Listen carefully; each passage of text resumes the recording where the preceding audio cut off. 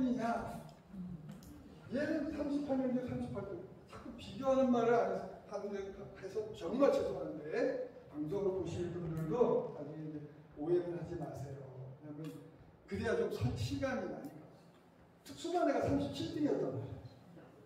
근데 이놈이 38등을 하니까 그 수업 시간에 자는 것도 아니에요. 눈 뜨고 멀쩡, 멀쩡히 있어. 그러니까 담임으로서 어떻게 여기까지 나와. 쟤보다도 성적이 안 나오나. 그런 말을 하고 싶은 거예요. 그런데 우리가 바로 어, 기말에 롤링페이퍼를 하는데 애들이 그런 거야. 야, 소녀시대 작작 좋아해. 그런 애들입니다. 그, 그제서 12월 달에 가서 야, 얘하고 소녀시대하고 무슨 관계야? 그랬더니 모르셨어요? 걔 소녀시대 블로그 운영하잖아요. 팬블로그를 운영하잖아요. 그런데 조회수가 100만, 100만이 132만. 그 당시에 블로그 운영하시나요?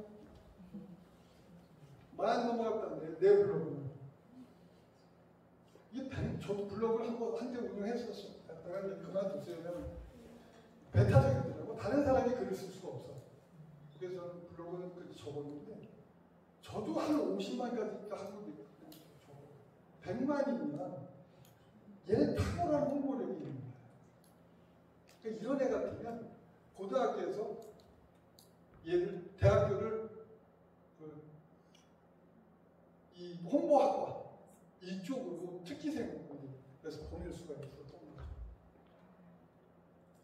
그 얘는 그리고는 제가 기말 그 입수업을 다 내가지고 아무게 그 블로그에 대해서 다 소개해주고 그랬더니 없지 않아서 학년 올- 올라가면서 2월 말에 저한테 와서 그래요.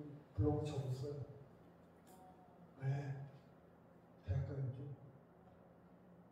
아, 4년제는 못 가고 컴퓨터 관련해서 어, 전- 전문대학을 했어요. 오늘 잘 오셨지? 우리가 한 사, 삶이 아니라 한 가정을 살리는 거예요. 제가 그 감동해가지고 엄마한테 전화를 했어요.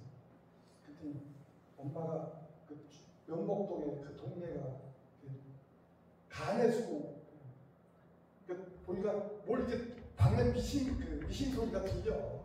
그 미신 박으면서 저한테 통화. 어머니, 안개가 이제 드디어 컴퓨터 쳤고 공부를 하려고 시작 공부를 한다네요. 네, 다 선생님 덕분인 거 알아요. 감사합니다.